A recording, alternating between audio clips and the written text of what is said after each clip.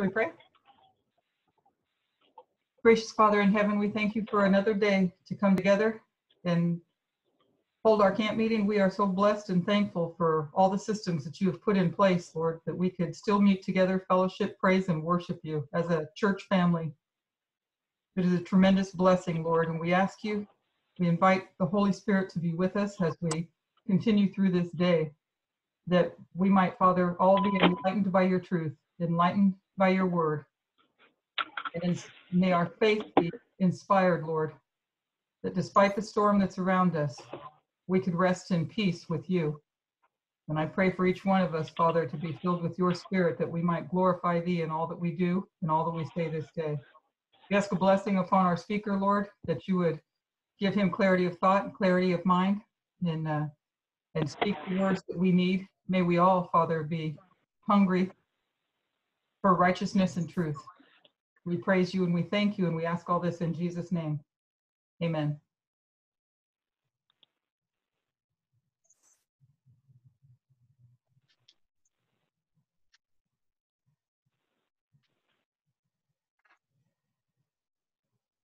Okay, so I'm just going to open with a quick silent prayer.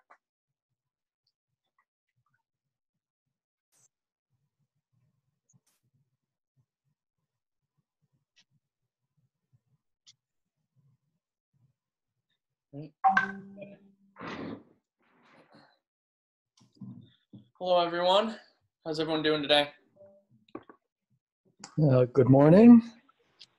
So, I don't know if everyone is used to using Zoom. I think probably most people here use it um, pretty regularly, but I've been told I don't often do this or the Zoom function with video and everything, but I've been told that if you go to my box um, and you pin the video, um, that it'll show up bigger on your screen. Um, you know, it'll take up the whole screen. So, And also put it on speaker view. And if we all mute and you're on speaker view, then they'll be able to um, have just, okay. Um, at some point, I do want, I mean, throughout the presentations, I do want some feedback and some uh, conversation. So, um, probably better for everyone to just pin the video. It would be easier, I guess, when we get to those parts. Uh, okay. So just a quick overview of, of what I'm going to try to do. So my uh, my agenda for today or for this weekend, is, today and tomorrow, is to first do some review. Um, some things some of us have already seen before, uh, maybe some haven't, uh, and sort of just set a framework uh, about the United States specifically. And then once we get done with that, we're going to start progressively moving to our main topic, which is the issue of equality. Um, I want to deal with the issue of equality at an individual level, but also at a uh, institutional or national level. Um, and then we will probably tomorrow wrap up with some um, some other lines um, that are connected in that topic, but maybe not you know, I'll try to I'll try to um, make the connection for some of those things. So we'll look at the line of Christ, and um, we'll look more deeply at uh, the United States. So that's sort of our overall plan. Uh, so we'll begin with a bit of a review. So, uh, like I was saying before, I encourage any comments or feedback along the way. Um, if anyone has any questions, um, I'd rather it be more of a discussion than anything else. I assume as I go through this bit, um, sort of the the review, um, it might be less interactive, but uh, I accept you know any questions or anything. Um, but as we go further in some of the next presentations, uh, we will deal with that. yeah, one quick comment. Yes. I'm going to leave because some people are not able to mute their mics and, and be- whether, what, depending on the device they might be on. But anyways, I will be muting if there's background noise. But if they want to be unmuted and I don't manage to get them unmuted, put it in the chat box and we'll be watching the chat box. Yeah, and if you're using the phone, um, if you're using calling from a phone and you want to make a comment, I think it is star six. You can mute and unmute yourself. Um, but if you want to say something, you can, you know, either just unmute yourself and uh, start talking, and I'll quickly pick up, or uh, you can put the little hand, um, raising the hand. Uh, though that might be harder for me to see because I'm going to have my notes up. So, but I'll try to see. One second, I'll try to position. We'll be watching for it too. We'll be watching. Yeah, okay. And just cut me off if, if I'm missing something. Yeah. Um, all right, perfect. So let's begin with a uh, review of some things. So first thing I want to do is I want to lay out some uh, a line of the United States and um, and just get that as our base. So first thing. so one thing we're all familiar with is the agricultural model. Uh, we know that it can be broken up into four primary steps. First one is the plowing. And then our next step, we have the former rain, the time of the former rain. Then we have the latter rain. Followed by the harvest. And the agricultural model, um, along with the marriage model and construction, um, and other minor ones, um, are a couple of the ways uh, that we use in our methodology to um, to check ourselves. I guess. I guess in and of themselves, they are methodology, and they are um, they they do lend to more light, but part of their function is to be able to check your work. I guess you could say it that way. Um, so, and they become filters. I guess um, they become filters of information. You know, you plug information in, and it will give you an output. You know, give you your uh, what you want to look at or what you are looking at through the lens of your your different model.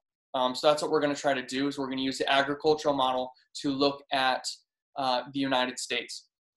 So, and we're not going to go over the agricultural model. I'm sure everyone here is, you know, familiar with it. So I'm just going to take, um, make that assumption. Okay. So the first thing we'll do is if we can go to, and sorry I don't have notes. Um, I will be giving the references as I go, um, and we can read along. But I will be reading some quotes. So the first one we're going to go to is the Great Controversy uh, GC 440, and we'll be on 440 and 441. GC 440 and 441.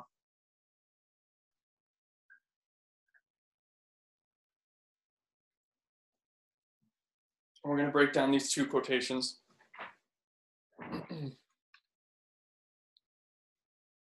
okay.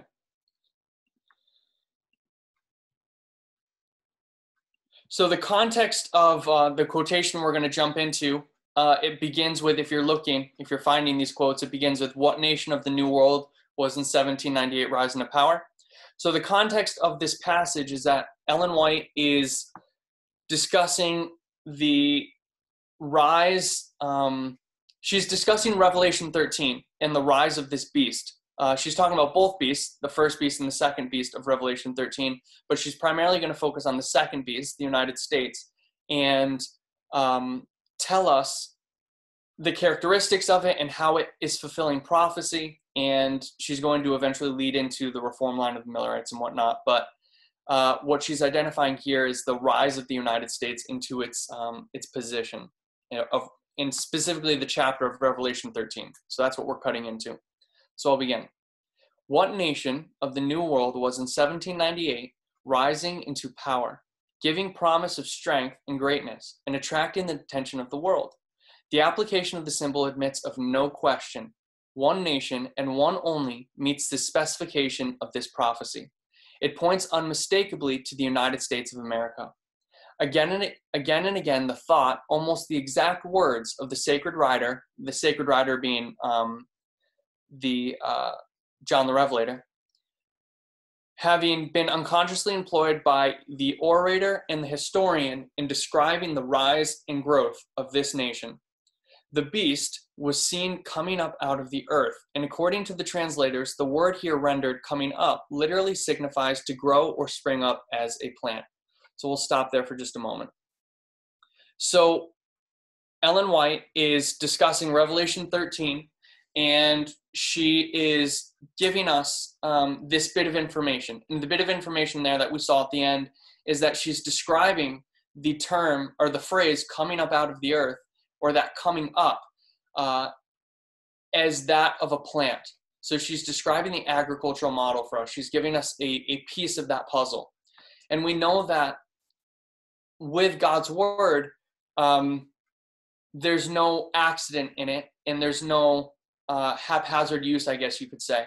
And so when we see that the term coming up out of the earth means or literally signifies, as she says, that they're springing up as a plant, we know, um, hopefully we know, and hopefully our uh, antennas go up to know that we now have touched the framework in the model of agriculture.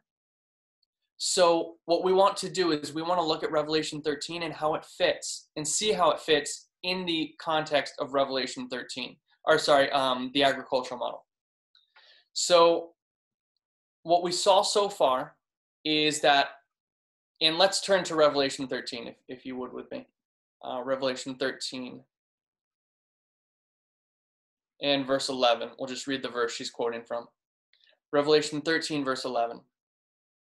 And I beheld another beast coming up out of the earth, and he had two horns like a lamb, and he spake as a dragon. So we know this to be the United States, and that uh, this is the rise of the United States. It's the end, the end of the first beast, which is the papal beast, or the the kings of Europe with the papacy, and we have the rise of the second taking its place of uh, the preeminent kingdom of Bible prophecy, uh, the United States, after the 1260.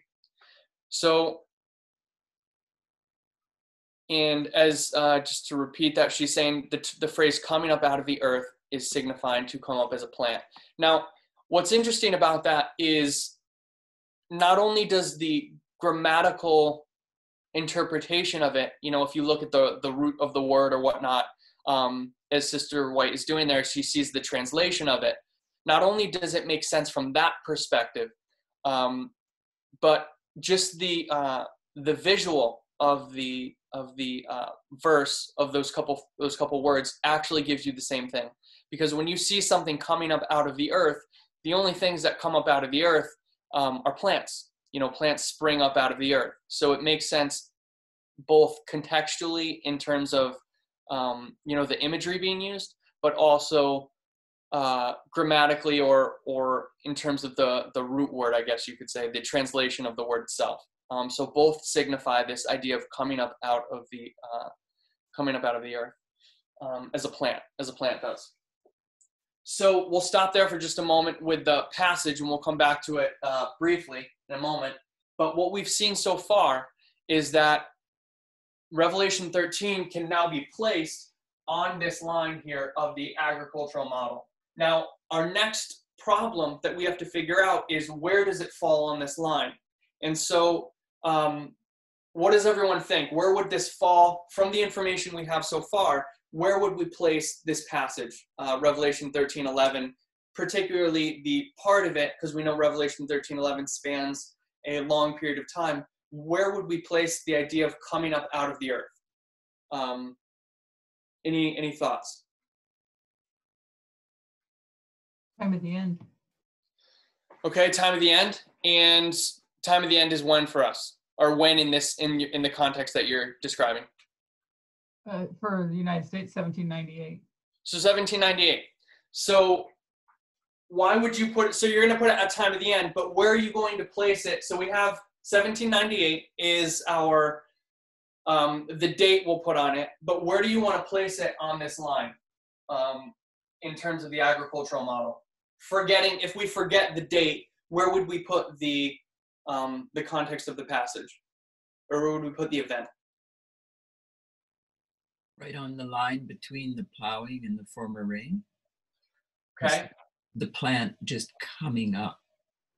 So starting to come up. Amen. So sister debbie wants to place it here at this point. Uh, put it here. She wants to place it here between the plowing and the former rain. And Sister Debbie, what is happening at that point in terms of the agricultural model? You're just, I think you just said it, but if you could reiterate that. uh, seed has been put in and is is popping up through. Is just well, the seed is planted and shortly will pop pop above the surface of the soil. Yeah, so we have the planting of the seed, which takes place right after the plowing, right here. And then we have the seed, the germination, and the springing up of this plant uh, during the former rain time period, former rain. So we have this plant popping up. So that is where we're going to place Revelation, Revelation 13, 11 specifically the passage of, uh, or specifically the phrase coming up. Uh, and again, I'm making that distinction because we know Revelation 13:11 covers a large period of time, uh, the beginning to the end of its history.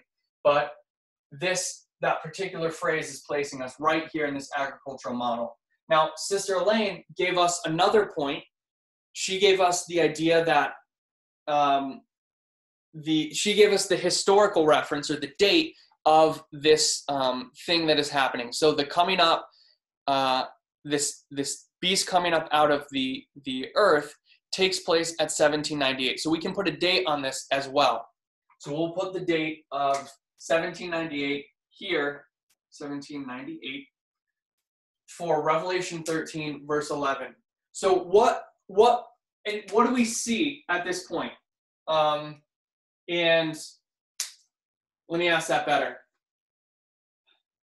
What problem do we see initially from this?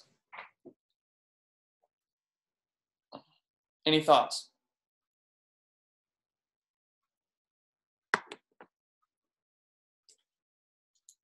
It's leaving the plowing phase out altogether. Okay, so we haven't dealt with the plowing phase. Um, and we'll come back to that in a minute. We're going to fill all that in. But what, so Sister Elaine, what did you say 1798 represents? Time of the end. Time of the end. Now, in the agricultural model, where is the time of the end? It's before the seed gets planted. It's before the seed gets planted. So I'm so we've placed the date of 1798, which we would normally place here when the seed gets, or sorry, before the plowing, when this process begins. We've now taken 1798 and brought it away from that point, uh, from this point, and we brought it actually to the point where the former rain begins and it's the end of the plowing. Now, the question is, can we do that? And let's get some thoughts. Can we do that? And if so, why?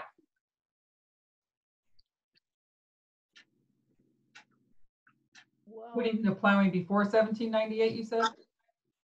Yes. Can you put the plowing before 1798? Or to put it another way, can you take 1798, that, that date that we use, and place it at the beginning of the former rain? Just thinking about how Ellen White says 1798 marks it as the time of the end. Yeah, so we have to we have to understand the quotation. Right. Um, Right. anyone else? Any other thoughts? Well, we're working with models. And if she also presents another model that shows different characteristics happening in different, places, we could.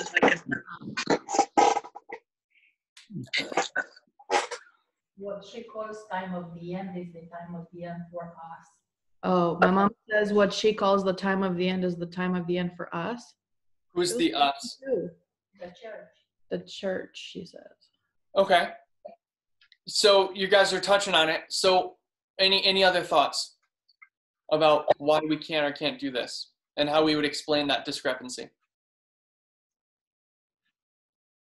Oh, because it's the church is one time of the end, but we're talking about the United States as a whole.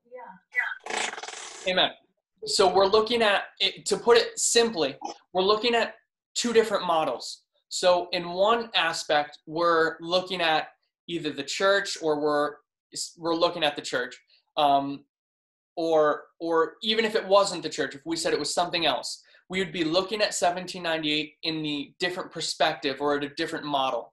And all we're doing here is we're taking that date and we're seeing that in one aspect it can be here and in one aspect it can be here depending on the model in which you're using depending on the context depending on what you're looking at. So 1798 is not always the time of the end based upon um, your context. And what we've done so far, just to reiterate it, um, hopefully it's been simple enough, but we said we have our agricultural model. And what we're going to do is we're going to see that Revelation 13 can fit on that agricultural model. And what we did is we saw that the phrase coming up means um, springing up as a plant, and we know that that takes place here.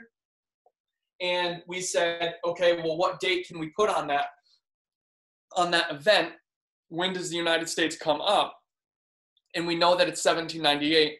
So that's where this plant is springing up.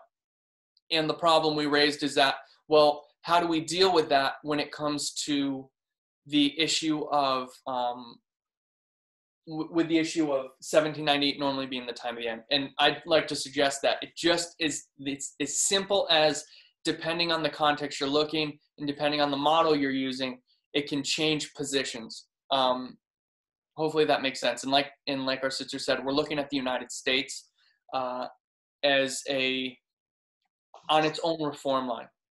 Um, okay, and so I hope that makes sense. Is that clear? Does anyone have any questions about that? Thoughts?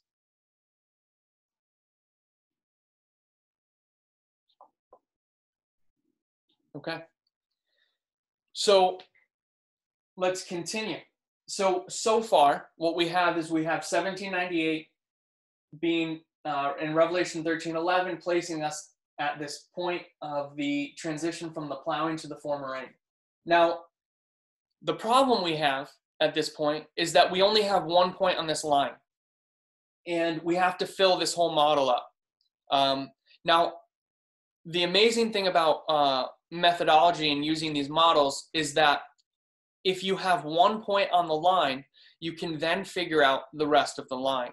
You can then figure out all the other points because it becomes your anchor. So we have one anchor point, and because of that, we can construct the plowing history beforehand and all the history that comes afterwards as well. Um, now that we have this one anchor point uh, to work with.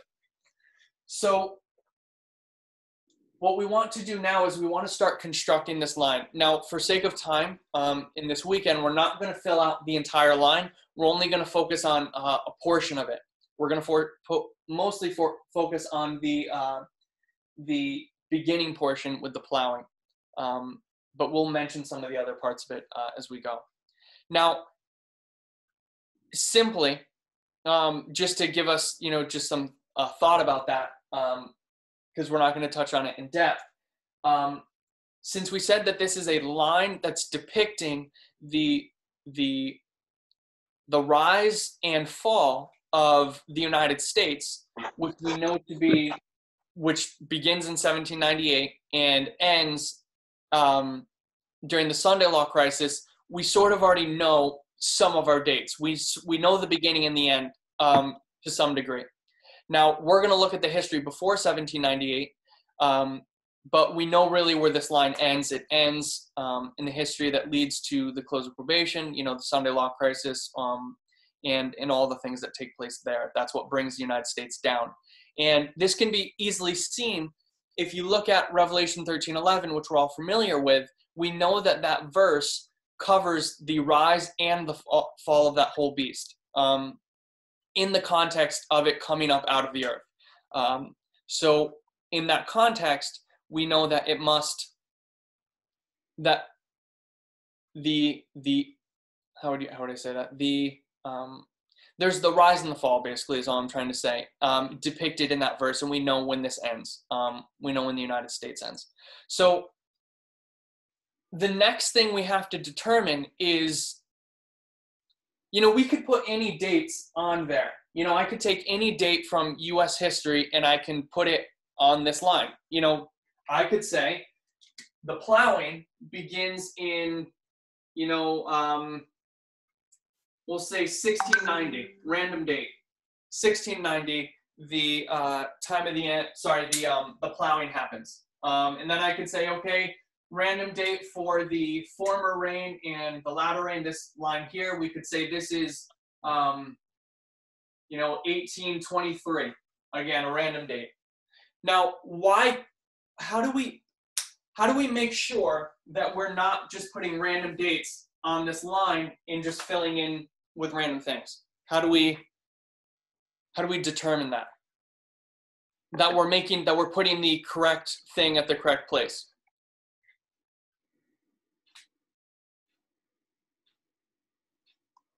You mean use spirit of prophecy quotes to guide us, or what do you mean? Okay, so one thing I can do is I can use Spirit of Prophecy quotes to uh, guide us in that process. Um, though I would suggest that you can't. The problem with Spirit of Prophecy quotes is you have to first figure out what she means, and then you have to figure out how it applies to what you're doing. Um, Because, and um, that process can have some problems. Say that again. Because history repeats itself and therefore from, um, from one event to another, it has its characteristics. Um, yeah, that's part of it. Part of it is the repetition of history, um, and we'll let's talk more about that. Anything else? How do we determine that the the date before? So what we have so far is we have an anchor point that we know is correct because the model it's simple with the model that we're using the agricultural model but also the in the context of um, we, we also have a spirit of prophecy quote. So we have the agricultural model, the verse, and the uh, spirit of prophecy quote, and they all line up together. So we have our anchor point. Now, we may not have quotations for the for the point before the point after, so we have to figure out how we would determine that. So, and that that is our our question, I guess you could say. Um, how do we determine those points? Is it in the development of the increase of knowledge and the formalization of the message? Okay. Well- I'm looking for? that is that well that's going to be part of it and you're you're getting you're getting to the thought in that something a message is going to develop throughout this this model this agricultural model a message or a thought is going to develop um, through the increase of you know increase of knowledge depending on what that what that is here and it's going to run through the um, the line so what is that what is what what's another way of saying what the message is for this line? What would we call that? Repeat, Present truth? Say it again. Present truth? Okay, present truth. Repeat, So- Mark. So let me say it simply. Um, if you had a message that runs from the beginning of this line and it's going to increase and you're going to get more and more information about that, what is that message to this line if it runs all the way through and it's going to give you the characteristics of it? It's the theme, It's the theme of the line. So we have to determine what the theme of this line is um, in order to be able to rightly um, sift out the dates or the events on this line. You know, so like I said, we could put anything at the beginning or any, you know, where the plowing is or the latter rain or the harvest. We could put any date and, you know, maybe we can even find a, a correct justification for it. But what we know we have to do is we have to run a theme all the way through this line from the beginning to the end. And so, for us to be able to do that, um, for us to give the right things, the right the right um, waymarks, we have to find the theme that can thread itself through all these waymarks and connect itself. Um, because to give an example of that, if we start this line and we say, okay, we'll start with plowing, and then we're going to have the seed being sown and the rain come down, and then I say, okay, here's the next thing. The next thing is that we're going to uh, build a house. What would you say? You would say you've done something wrong because you're breaking the theme. That doesn't make sense. The context of this line is that you're going to plow a field, then you're going to have some rain, plant some seed, and then there's going to be a lot of rain and a harvest. There's no building on that line. That doesn't make sense contextually. It breaks the model. Um, it breaks the theme. To bring in something outside of the theme um, would break the line for us and show us that something's wrong. So we know we have to figure out the theme, and the question is, how do we determine theme? How do we do that?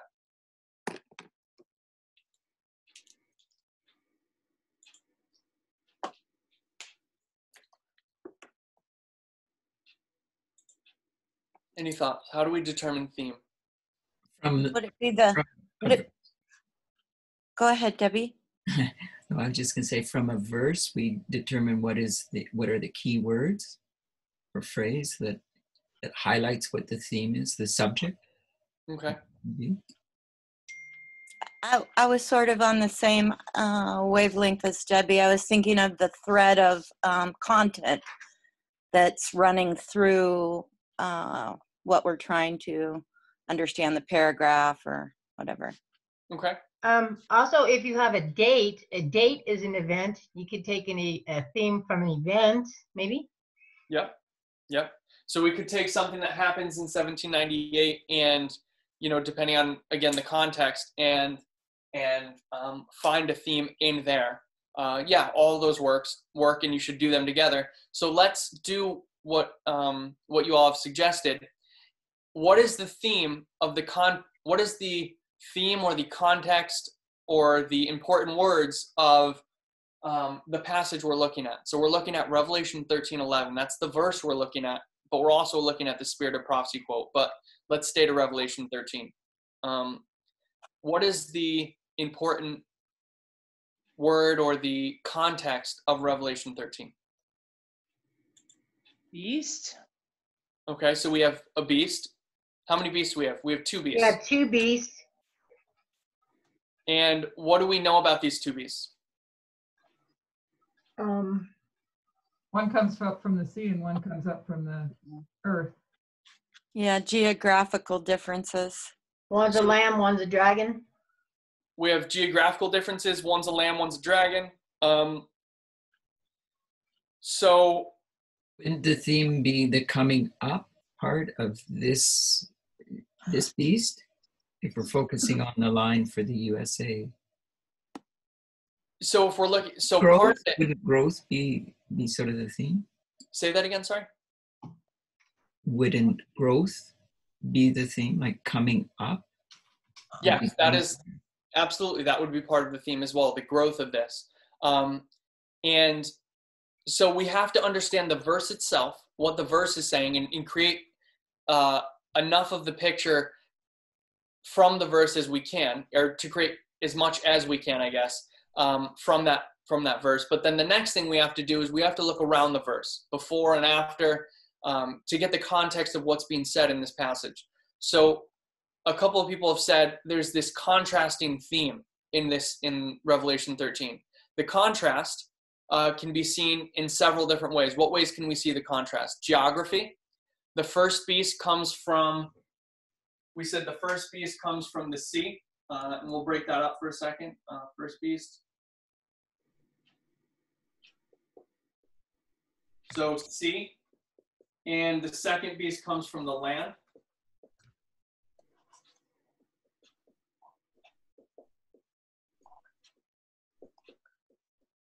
So one comes from the sea, one comes from the land. We're looking at geography. What other contrast contrasting thoughts do we see there? Their appearance, how they speak, where they get their power. Okay, their appearance. So what do we know about their appearance?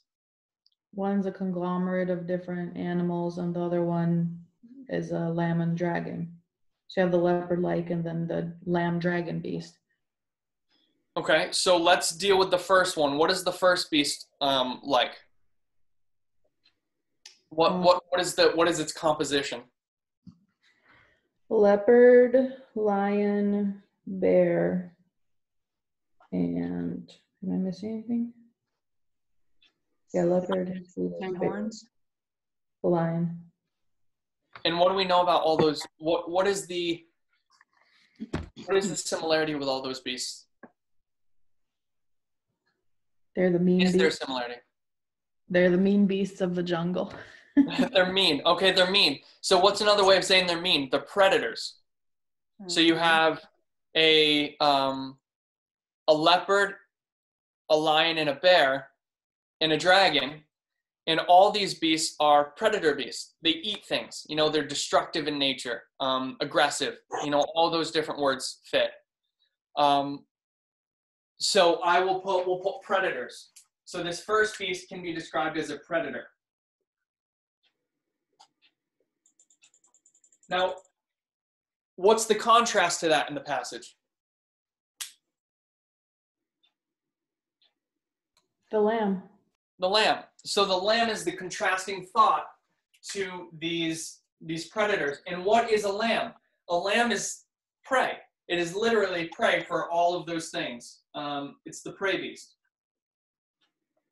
So you have the contrast of geography. One is from the sea, one is from the land. One is a predator, one is a prey. So what we can see about these beasts is that they're opposites of each other, sort of. Now, the reason I say sort of is that we know that the second beast is going to have horns like a lamb, but it's going to speak like a dragon. So what we can what can we determine from that that um from the speaking and the the horns on the same beast?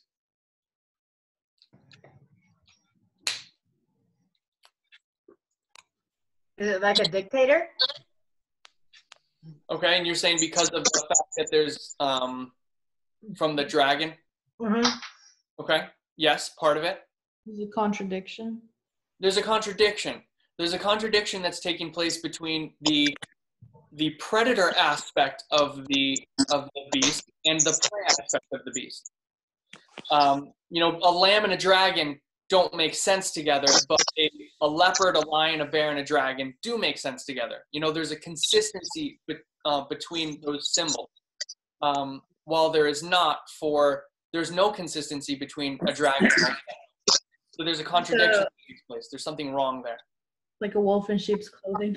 like a wolf's exactly like a wolf in sheep's clothing there's some sort of um i guess you could say it this way a contradiction or hypocrisy that takes place um at minimum a contradiction but we we understand um that it's a it's a hypocrisy that's going to take place. Um, Cognitive, cognitive dissonance. cognitive dissonance yeah exactly. Um holding two two ideas or two thoughts at the same time in contradiction with each other. Um exactly. So what we know so far is that these two beasts are opposite for the most part but there's some sort of discrepancy in the second beast. Um we'll talk about that later. So let's just focus on the contrasting part right now. So without taking a lot of time because we want to move through this um, and we're all mostly familiar with this i'm sure uh, with these these aspects um, when we look at the let, let's bring in some of our knowledge that we know. Um, so normally you wouldn't want to do this if you're trying to break it down. You want to start fresh and then um, only use what you have uh, in the passages to determine your thought but if we were to go through it, it'd be easy to see anyway. Um, and we're all familiar with this thought. So the first beast we said is who? Who's the first beast?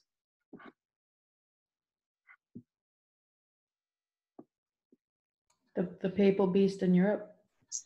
Okay, the papal beast in Europe. It's the ten kings ruling with the. Uh, it's the kings of Europe ruling with the beast. Uh, sorry, with the um, with the uh, papacy.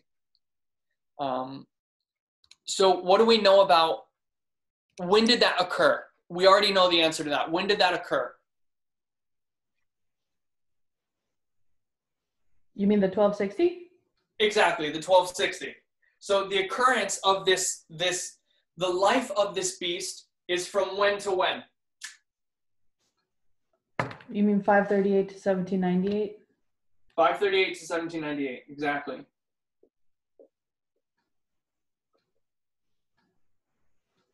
Five thirty-eight to seventeen ninety-eight. This is a twelve sixty. We're all familiar with that. So the twelve sixty is depicted, or is um, the time of rulership of this first beast that's described as the sea and as a predator uh, through its composite animals.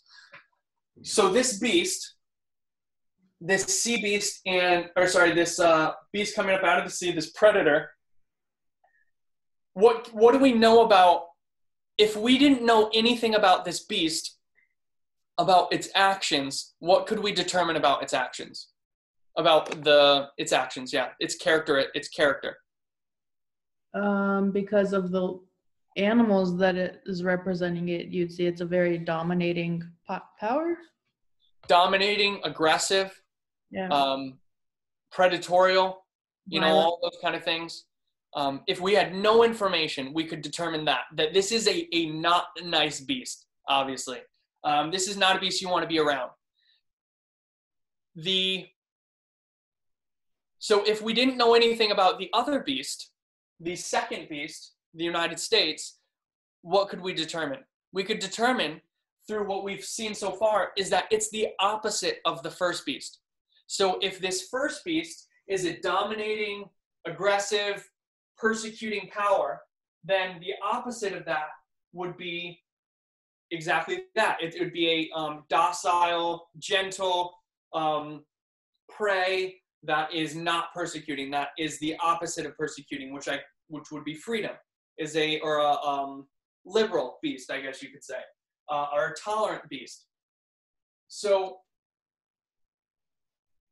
the compare and contrast of these two beasts is really important when we start looking at when we start trying to identify the characteristics of these two beasts um, and what they're going to do, their actions. So we know, again, taking in the taking into account the information that we already have uh, for sake of time, we know that the 1260 is described as a time of persecution, of domination, of aggression, um, of martyrdom, um, of you know, just all the bad things we know about the 1260, just to use some of the adjectives there. Um, which means that the time period after that, when this next beast comes up, that its rulership or its domain is going to be the opposite of that, at least for a time until the dragon part kicks in and, and that um, comes into play. But while the gentleness of the lamb is present, it's going to be the opposite of these beasts. So let's um, let's go back to our let's go back to our um I, uh, let's go back to revelation not revelation 13 sorry let's go back to our quotation great controversy 440 and 441 so we read the quote on page 440 but i want to look at the quote on page 441 uh, so we're just going to skip a couple sentences and jump to the next part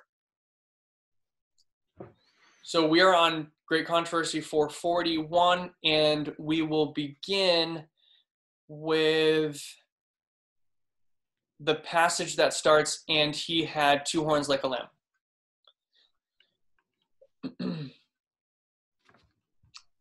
okay. So she's quoting from Revelation 13, the next characteristic, and he had two horns like a lamb. So just remember everything we just said that we got from just looking at the logic of a a lamb and a dragon, you know, looking at the contrast between the two, that's exactly what Ellen White's going to do. She's going to simplistically say, look, this is what a lamb is like, and it fits the character of the United States. And he had two horns like a lamb. The lamb-like horns indicate youth, indicate youth, innocence, and gentleness, fitly representing the character of the United States when presented to the prophet as coming up in 1798 the Christian exiles who first fled to America sought an asylum from royal oppression and priestly intolerance. They determined to establish a government upon the broad foundation of civil and religious liberty. Okay? So, before, or first, let's just break this down. Okay, let's stop there for just a moment. So, she's saying we have this two horned beast. It's like a lamb coming up. Uh, it's the United States coming up out of the uh, coming onto the scene of action in 1798. So the next thing she says is she's going to go into a little bit of history, and she's going to say the Christian exiles who fled to America um, sought asylum from royal oppression and priestly intolerance. What is what is she doing in this sentence here? Um, the one that's called uh, the one that starts with the Christian exiles what do we see about what is significant that Ellen White does in this sentence here?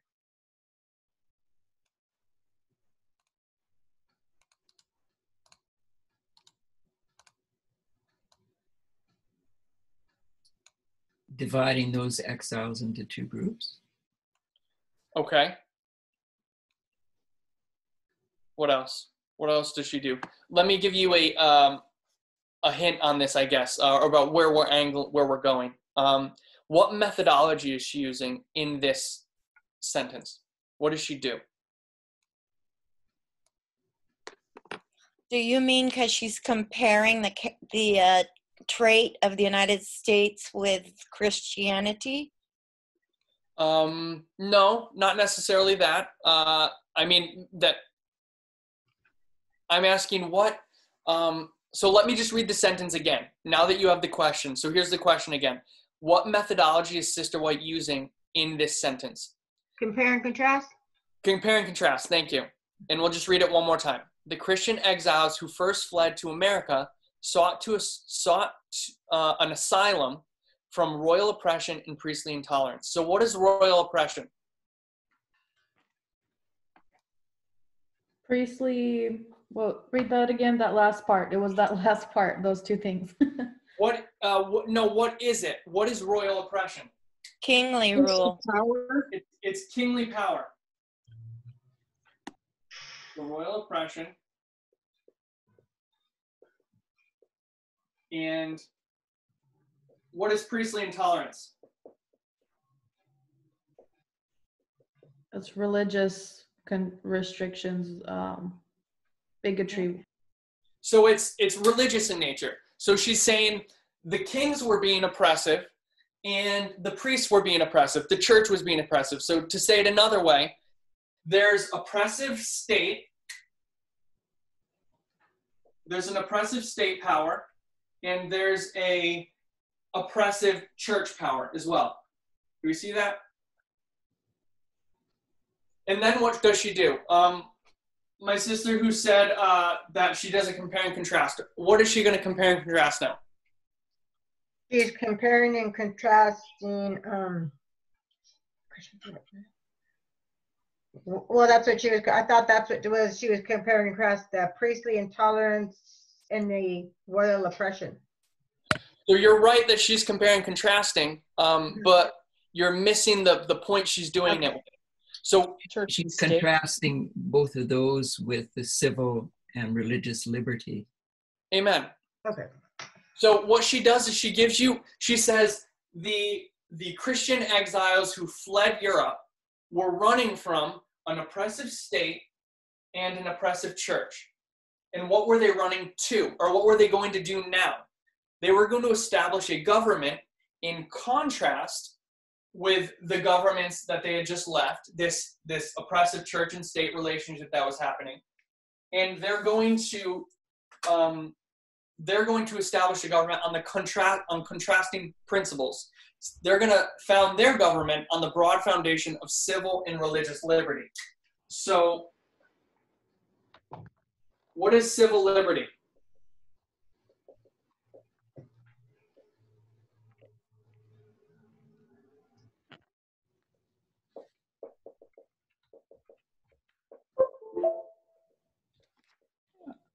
What is civil liberty?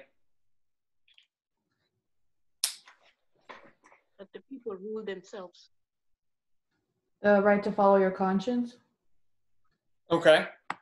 Um, broadly, very, very broad. In terms of in terms of what we're looking at, in terms of so we know what religious liberty is. It is freedom Right. of religion, which is to do with church. And civil liberty has to do with what? State. the state power. So the state. So they were going to found their government on the opposite ideas of royal oppression and priestly intolerance. They were going to establish their state on the contrasting principles of civil liberty and religious liberty, the opposite of what they saw before. So using what we have so far, using what we saw so far, we know that this is the the royal oppression and the priestly intolerance is the character of the first beast. And those who are going to eventually stab, establish the United States are going to do the opposite of that. And they're going to establish their government on these, on liberty. We'll just say generically liberty. So the first beast, this is the predatorial, um, aggressive, dominating um, characteristic. It's the royal oppression and priestly intolerance, but that lamb-like characteristic is this civil and religious liberty, as you can see in this compare and contrast. Okay, does that make sense to everyone? Mm. Okay. So, what we're going to do now is we're going to go to the next. We're gonna uh, next sentence. We're gonna try to finish off this paragraph. So, next sentence. The Declaration of Independence sets forth the great truth that all men are created equal and endowed with inalienable right to life, liberty, and the pursuit of happiness. And the Constitution guarantees to the people the right of self government, providing that representatives elected by, pop, by the popular vote shall enact and administer the laws. Freedom of religious faith was also granted, every man being permitted to worship God according to the dictates of his conscience. Re- Republicanism and Protestantism became the fundamental principles of the nation. These principles are the secret of its power and prosperity. So let me ask this question What methodology is she using now in that the rest of what we just read? So we said that she begins by giving us a compare and contrast. She says, This is where they were, and this is what they want to be, this is where they want to be, and what they're going to found the new government on. So it's a compare and contrast. What did she just do now? She gave more information, so would that be repeat and enlarge? So, yes, she's giving us a repeat and enlarge, but how is she giving us a repeat and enlarge? Of what? Of what? What is she repeating and enlarging on? The traits of Yeah. church and state? Okay, yes, the, the traits of church and state. On which side of the equation? Is she talking about the bad side or the good side? The good side. The good side. And what what and she's going to take out some key words to describe um, to describe these things. I mean, we can take some keywords rather um, to describe these two things. And so let me, I'll, I'll help us with that because it's it's a bit of a you know without breaking down the sentences. Um, so the first thing she's going to say, she's going to say the Constitution guarantees to the people the right of self-government. What is self-government? Of It is the idea it, that, that you rule yourself. It is civil liberty. So she's going to say um, self govern governance. Self governance. So she says self governance. And then the next thing she says is she says, um, providing that the representatives elected by the popular vote shall enact the shall enact and administer the law and then she says next sentence freedom of religious faith was also granted or freedom of religion so she says they have self-governance and freedom how does she say it? freedom of uh, relig- Religion. Freedom of religion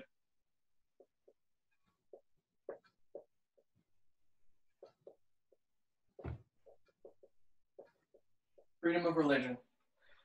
So, as you can see, civil self-governance is a repeat and enlarge of civil liberty, and freedom of religion is a repeat and enlarge of religious liberty. So, and they're both pretty obvious. Now she's going to do this one more time. How does she do it next? What's the final way she does it in this sentence or in this passage? Juxtapositioning, turn it, you know,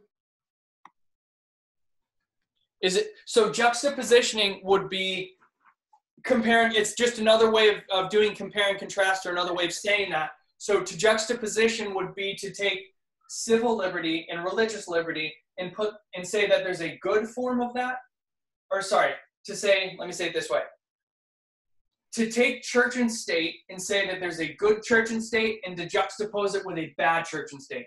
So she's taking the two beasts the first beast and the second beast, and she's juxtaposing them, putting them side by side, Okay. um, to to highlight the differences between them. Um, so, if I could say it this way, if you go horizontally, that is juxtaposition, but vertically is a repeat and enlarge. You know, where she's repeating on that same thought. So, what is the final way that she's going to do a repeat and enlarge in this pa- paragraph here?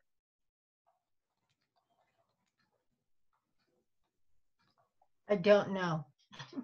Any thoughts? Anyone? So you repeat the question, please? there's so I gave you the first one. I said she does her re- first repeat and enlarge is she says self governance and freedom of religion, which is civil, uh, state and church, but from the positive perspective. But she's going to do this one more time. What are the two entities she's going to use now to describe church and state once more? In that pa- in that uh, Mhm. I was thinking the Declaration and Constitution, but then you said church, so now I'm, hmm. No, it's not the Declaration of Independence and the Constitution because those two are the same thing. Um, and by same thing, I mean they're both talking about civil liberty. Do you mean republicanism and Protestantism? Republicanism and Protestantism. Amen. That's So- what I was looking at. Um, She's going to say you also have republicanism and Protestantism. What is republicanism? Civil government? It has to do with civil government, but what is its tenets? How do what is it? What does it say?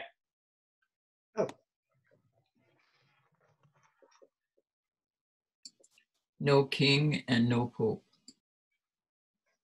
So no king would be republicanism because you have your if you're a republic, you are based on the idea of representative government. That's what a republic is. Um, and Protestantism, Protestantism would be the church aspect of that.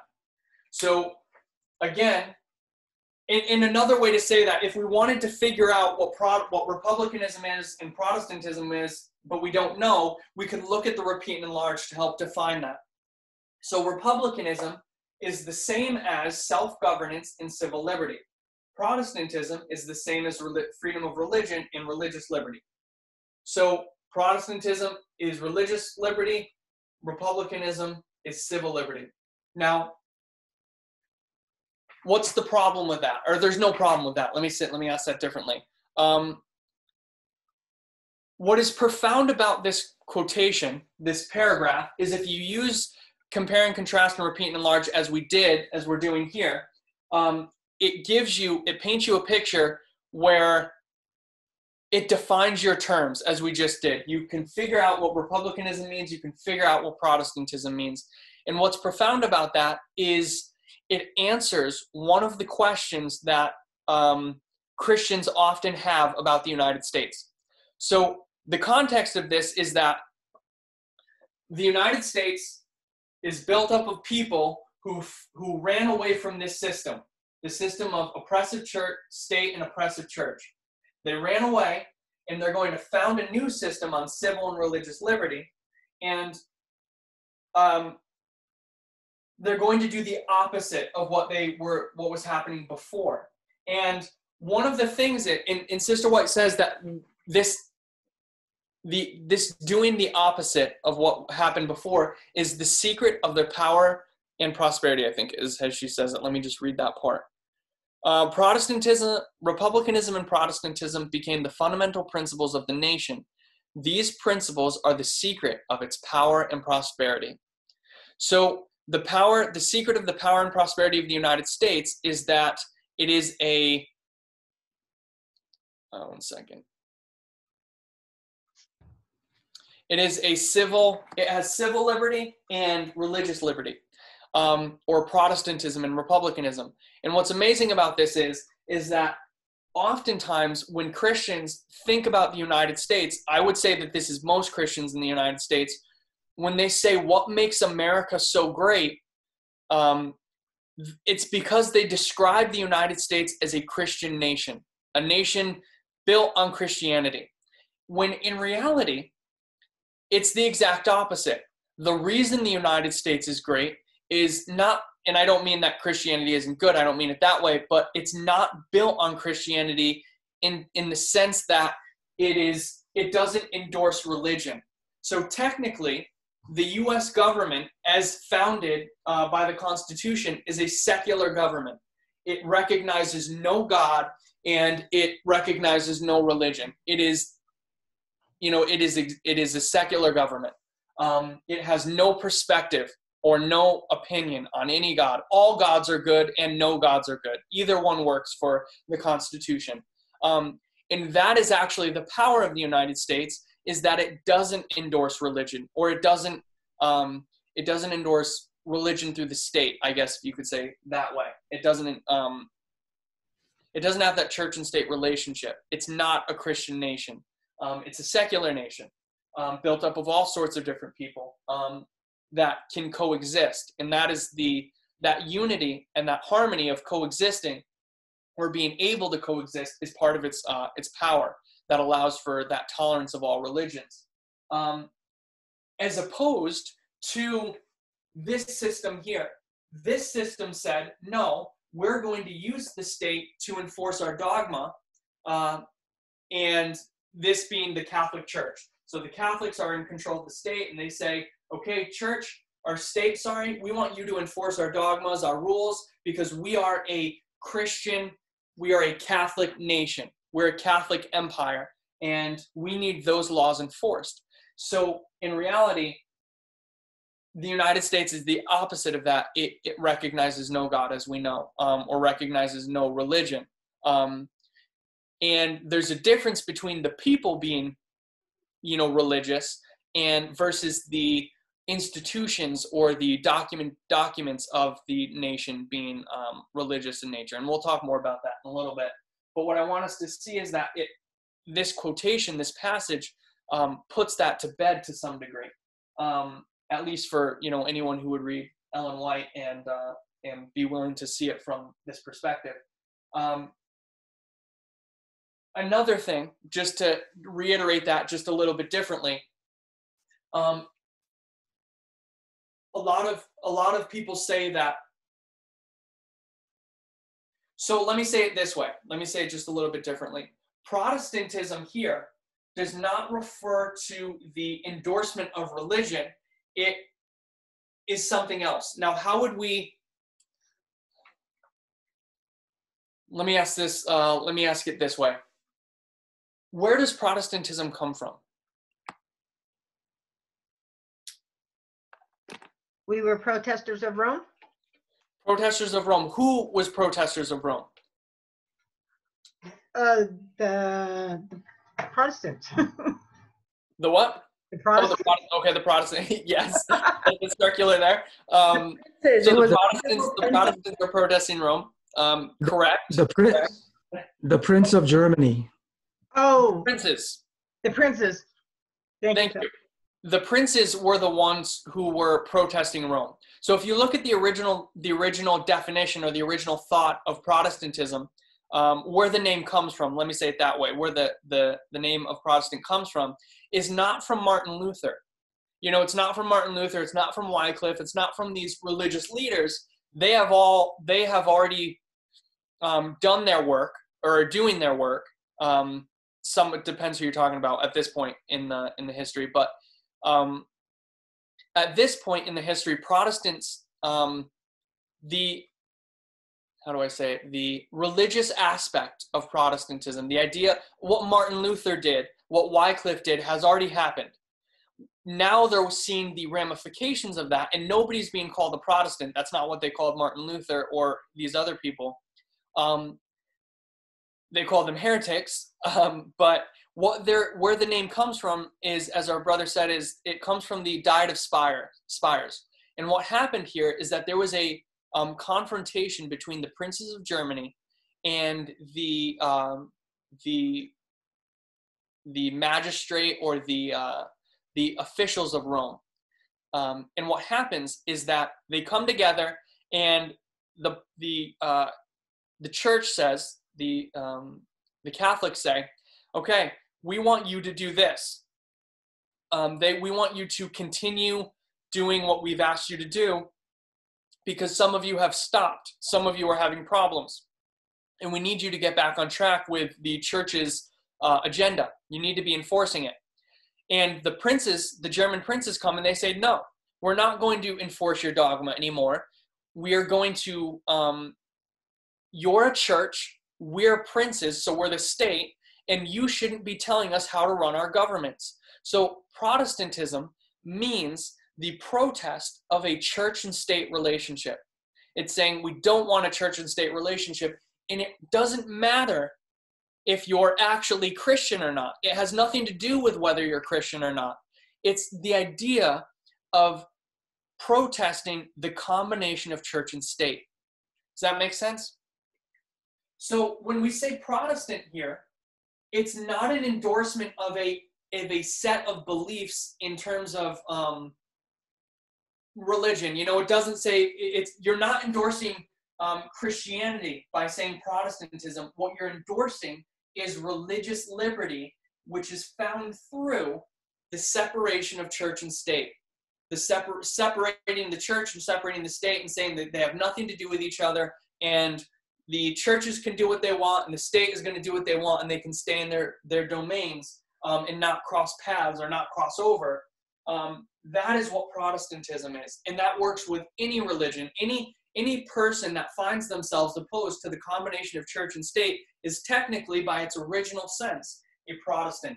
Whether you're a Muslim that doesn't think the combination of church and state should take place, or whether you're a, a Hindu or even a Satanist, if you believe in the separation of church and state, you're a Protestant by its original context and definition in the way Sister White is using it here in this context. Um, so it is, this is not an endorsement of the Protestant religion.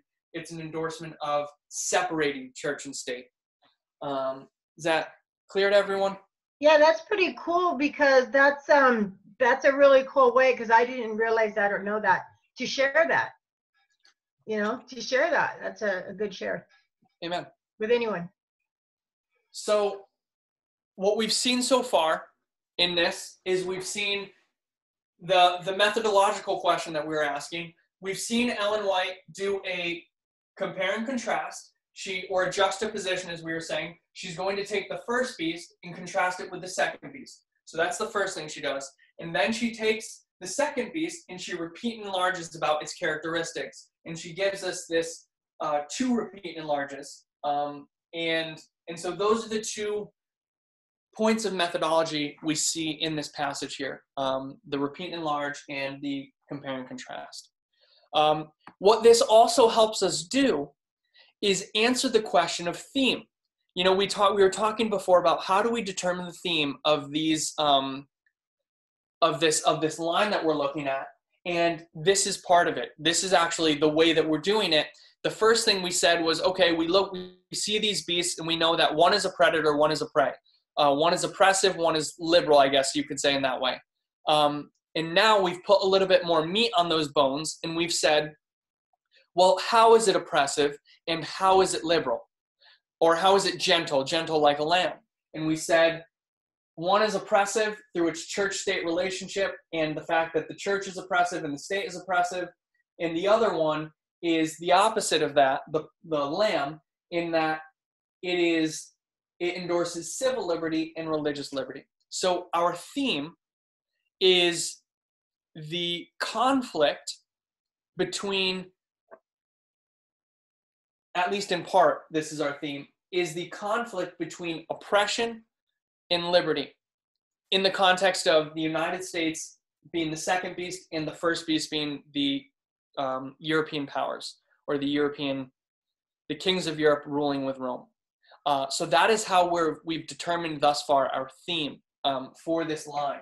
So what we need to look at, if we want to see what's the beginning of this, what is the beginning of the plowing in the context of the United States in this line here, it's going to be, it's going to have to do with the, the tension or the controversy over oppression versus liberty um, at least in a general sense. And then you can narrow that down a little bit in, in the idea of civil, civil liberty and religious liberty uh, versus royal oppression or state oppression and church oppression.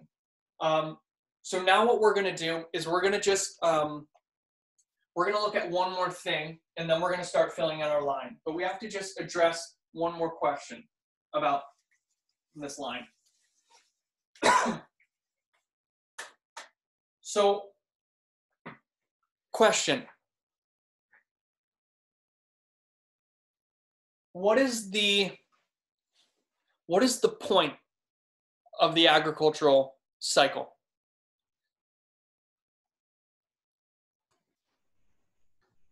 Produce fruit. Produce. Yeah, I was going to say the same. The end, the end point. The end point, the result, production. the result of the fruit.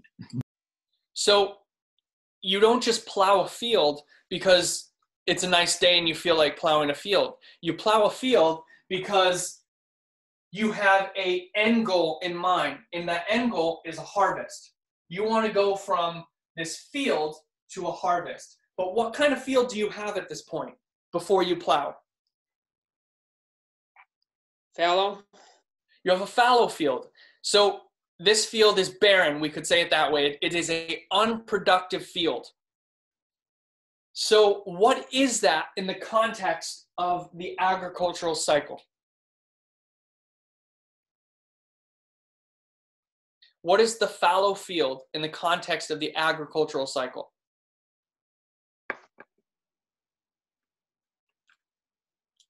Unfruitful. It is unfruitful, yes. Um, think more.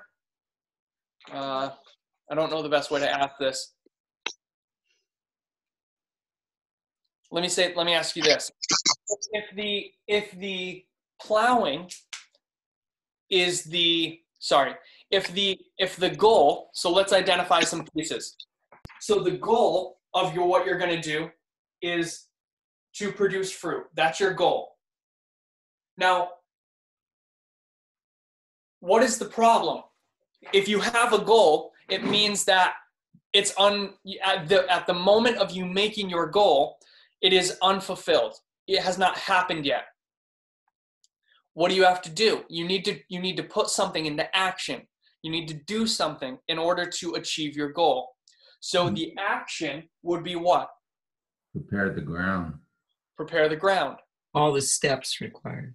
All the steps required. Something, something that's not producing, not living, Amen. and make it living and producing.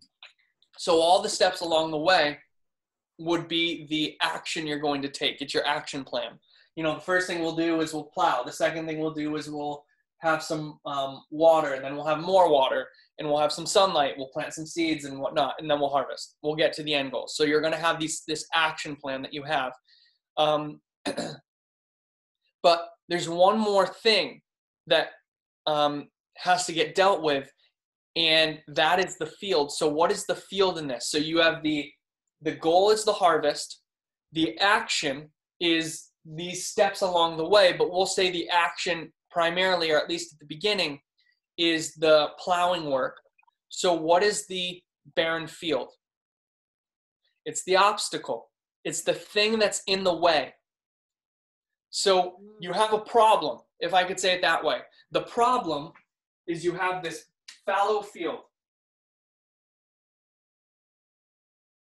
And this fallow field is full of all these thorns and thistles, and it's just standing in your way, and you need to address that problem.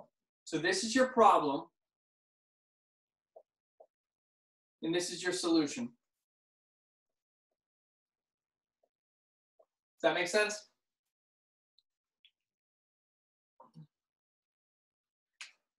So let's think about this from a slightly different perspective with problem and solution. Or let me say let me say it this way. Um, in the in the context of re- a reform line, what is this waymark here? This first waymark. Sister Elaine said it earlier in the earlier in the class. Time of the end. The time of the end.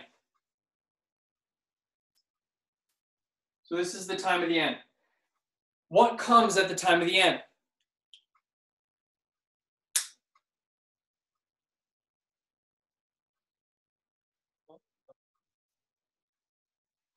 What comes at the time of the end? A message. A message comes. So a message arrives. And what is that message? What is the job of that message? Increase? Um, it is going to increase, but that's not what it's there to do. it's not there to increase. It will increase, but the message is it ha- it's there for a reason. What's the reason it's there for? To do a work. To separate. What work does it need to do? Create two groups of people? Okay, create two groups of people. That's part of the work it will do.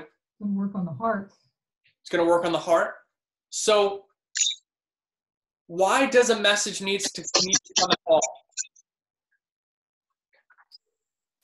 Say that again? Why does a message need to come at all? Because there was a period of darkness beforehand? And what does the darkness represent in that context? To Bring light. It comes to shine light in the darkness. To shine light in darkness. So what is the darkness? represents a scattering. Okay, it's a scattering. Uh, but in keep. So if I give you a message, and I'm giving you a message, we'll say messages, message is the message of some doctrine. Why am I giving you that doctrine? One, because you're scattered, we could say, but keep it in the context of a message. What if I'm giving you information? What must you have had before? No, no information.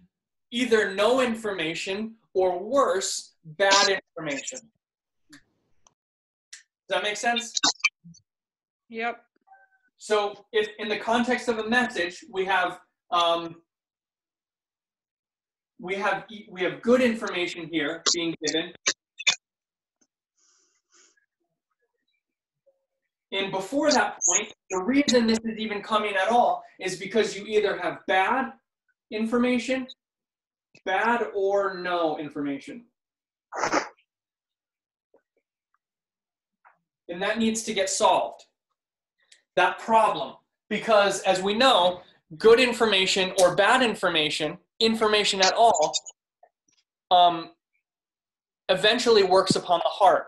You know at some point it's going to it's going to set your mind frame or your mindset and it's going to work on your heart and it's either going to produce a good person or a bad person depending on the information you have or bad actions at minimum or good actions uh, depending on what you have.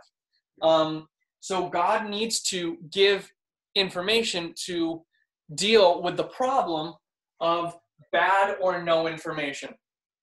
So, another way someone said it before is you have darkness, and then what do you have? Light. Light. Light. In this light, the job of the light is to dispel the darkness. Amen. It is a they go together. If you the the light's job function is to deal with that darkness. Or another way of saying it, the the light is the message and it's to deal with the bad information. Or another way of saying it is it is the solution to the problem. So there's always a problem. There's always a problem that precedes the time of the end that has to be dealt with. Do we see that? Always. There's and, and how do we know that? What do we call what what is what is this line? What do we call that? Not the agricultural line, but the line I'm drawing here with the time of the end. I mean you could call both of them the same thing, but Reform, um, what? a reform line. It's a reform line.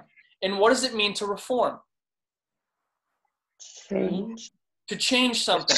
So it is a line of change, which means that before the change arrives, you're in one state, and then the change, the message of change comes, and then you're going to be in another state. So a, re- mm-hmm. a reform line, by definition, acknowledges that there was a problem before and a problem needs to get dealt with. And the now the the thing you have to determine is what the problem is and what is the solution.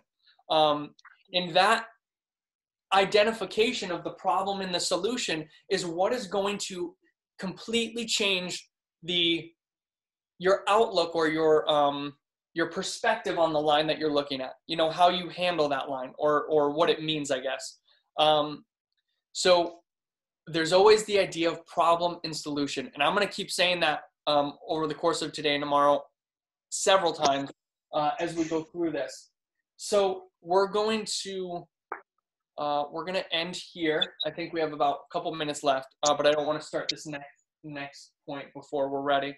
Um, so we'll end here and we'll take our break and we'll come back at the appointed time. But what we've seen so far is we looked at Revelation 13, verse 11, and we saw that there's this intrinsic reference to the agricultural model, and we placed ourselves on the agricultural model um, here at the transition between the plowing and the former rain.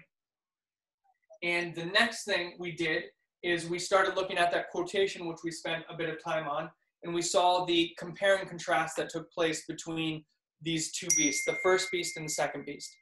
And what happens now, or what we're, um, we saw the compare and contrast between these two things, and what we're gearing up to do when we get back from our break is we're going to take this concept of problem and solution and combine it with the idea of our theme, because again, the theme is the reason this thing is happening here.